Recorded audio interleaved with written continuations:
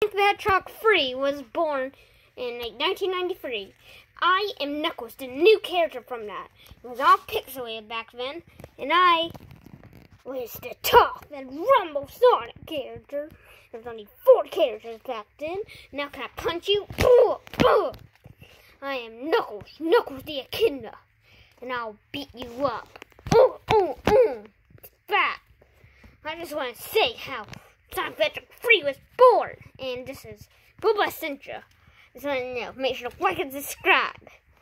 And just want to take out this, and can I do a dab as a brush? Eh, good enough. Wait, the Master Emerald! Gotta go get it!